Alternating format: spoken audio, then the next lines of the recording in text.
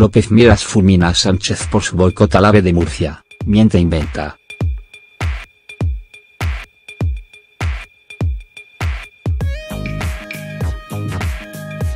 El presidente murciano denuncia la maniobra del Ministerio de Fomento.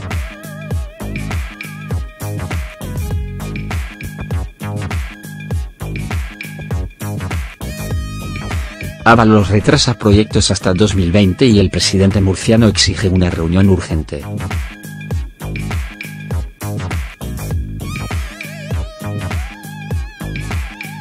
El nuevo gobierno socialista comienza a dar los primeros signos de sectarismo en su relación con las comunidades autónomas gobernadas por el PP.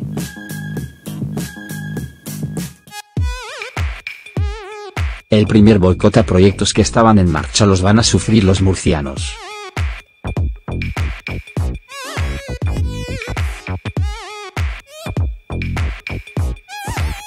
El ministro de Fomento, José Luis Ábalos, ha comunicado al presidente de Murcia, Fernando López Miras que varias infraestructuras, entre ellas el AVE, se retrasan a 2020. Y López Miras ha estallado.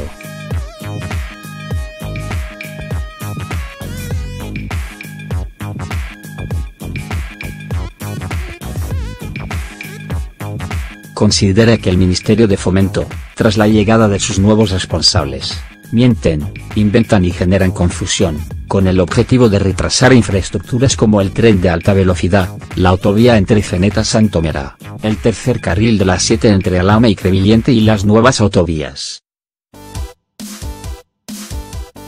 Proyectos que suman inversiones por más de 3.000 millones de euros.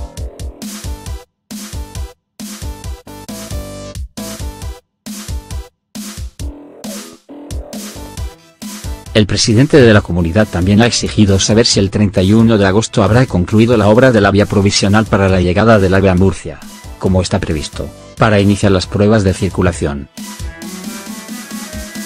Y es que el delegado del gobierno en Murcia, Diego Conesa, ha anunciado este viernes que la AVE llegará completamente soterrada a la estación del Carmen de Murcia a cota menos 8 metros en el segundo semestre de 2020, al tiempo que ha informado de una alternativa, un paquete de medidas conjuntas, actualmente en estudio que se dará a conocer en septiembre y que permitirá viajar a Madrid en 3 horas desde Murcia y en 3,5 desde Cartagena.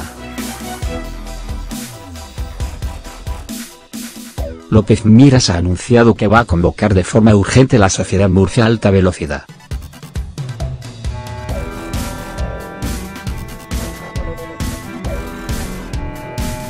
Porque tiene claro que Ábalos ha ordenado un cambio de planes ya que el Consejo de Ministros debería haber aprobado en junio la licitación del soterramiento de las vías entre Barrio Mar y No Duermas.